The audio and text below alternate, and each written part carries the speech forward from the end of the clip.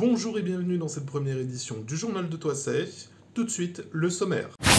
Au sommaire de cette édition, le retour en classe, la distribution de masques aux commerçants et aux particuliers, l'annulation du festival La Férie des Fanfarons et d'autres événements de l'été, la réouverture de la poste, les conditions d'accès à la déchetterie et le ramassage des ordures ménagères, la réouverture du cabinet médical.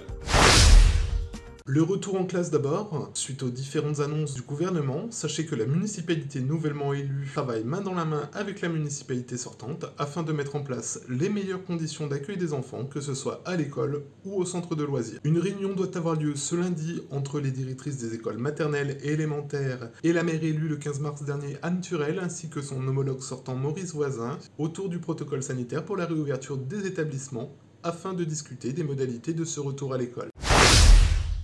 Lundi 11 mai, la mairie distribuera des masques lavables et réutilisables aux commerçants. Les bars sont concernés. Ils sont à récupérer entre 10h et midi directement à la mairie. C'est Daniel Leloup et Anne Turel qui se chargeront de la distribution. Si vous êtes commerçant et déjà équipé, contactez dès à présent la mairie afin que les masques prévus pour vous puissent être réutilisés pour d'autres personnes. Les particuliers, eux, recevront leurs masques directement dans leur boîte aux lettres dès que les masques promis par la région arriveront en mairie. Côté événements de l'été et conformément aux annonces du gouvernement, interdisant les manifestations de plus de 5000 personnes, la féerie des fanfarons est annulée. Il faudra également attendre l'été 2021 pour retrouver la fête de la musique du 21 juin, le feu d'artifice du 14 juillet ou la manifestation toissée aux piétons.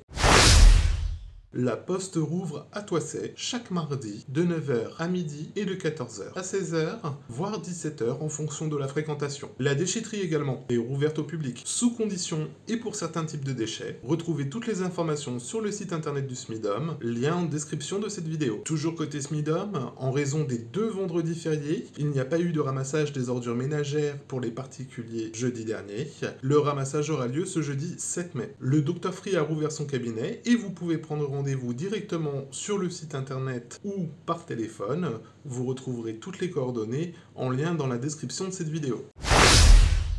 Vous pouvez retrouver les informations pratiques concernant Toisset directement sur le site internet officiel de la ville, sur le Facebook Ville de Toisset ou sur le Facebook de la chaîne Toi c'est toi mon village. C'est la fin de cette édition, abonnez-vous, likez, partagez, restez chez vous, prenez soin de vous et de notre village.